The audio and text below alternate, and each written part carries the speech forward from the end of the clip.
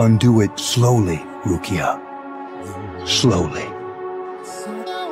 That was a magnificent Bankai.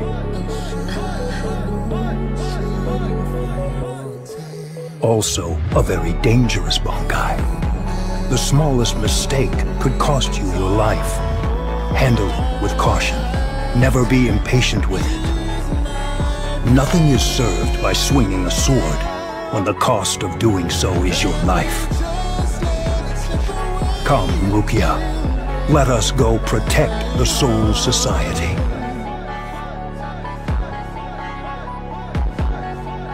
Right. Coming, brother.